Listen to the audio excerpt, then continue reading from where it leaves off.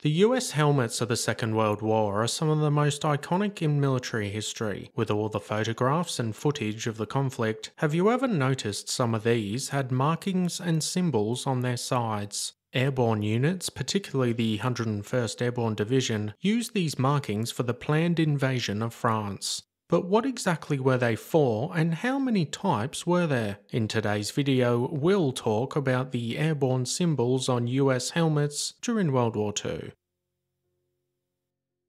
If you enjoy this video and want to see more, hit that subscribe button. It's free and really helps the channel reach more history lovers like you.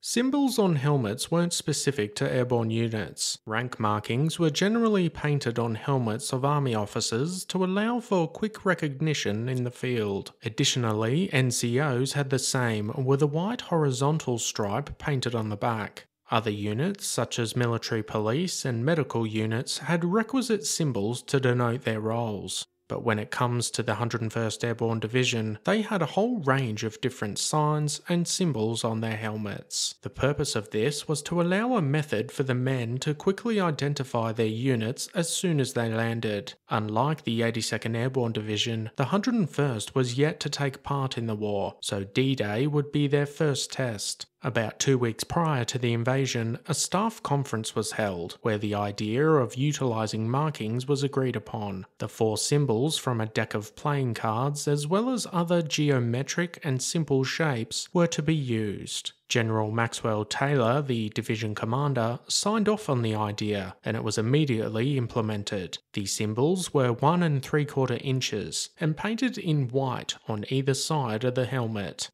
For infantry and glider units, a white dash was painted around the symbol to indicate each particular battalion. Above the symbol for the unit headquarters, to the right for 1st Battalion, underneath for 2nd Battalion, and to the left for 3rd Battalion. Starting with the infantry units, the 501st Parachute Infantry Regiment had a diamond. The 502nd Parachute Infantry Regiment had a heart symbol. The 506th Parachute Infantry Regiment had a spade. The 327th Glider Infantry Regiment rounded out the playing card symbols with clubs. The division's artillery units had a circle with the headquarters of the artillery featuring a dash above the circle.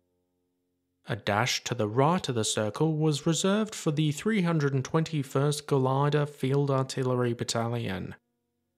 A dash below the circle was painted on the helmets of the 377th Parachute Field Artillery Battalion. Finally, the 907th Glider Field Artillery Battalion had a dash to the left of the circle.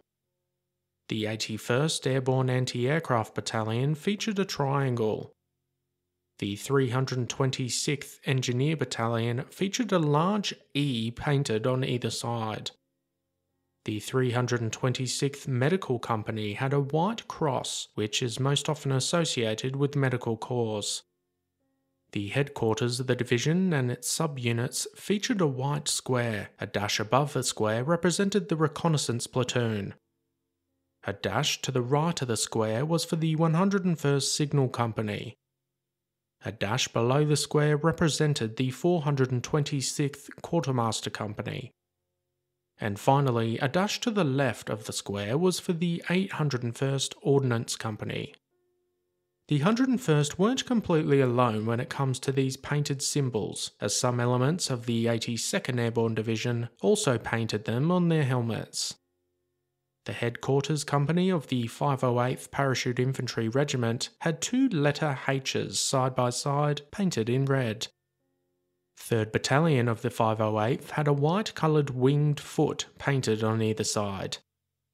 Finally, a battalion of the 507th Parachute Infantry Regiment had a white Diablo shape, Overall, the use of the symbols were quite successful in combat. They allowed the paratroopers to recognise their fellow soldiers quickly, and overall this success lasted throughout the war. In the end, these symbols were a great simple idea to assist the 101st Airborne Division during World War II. Did you know what the symbols on helmets meant? Did you realise there were so many? Let us know your thoughts in the comment section down below. As always, guys, thanks for watching. Be sure to hit that subscribe button if you want to expand your knowledge and join the growing Premier History community.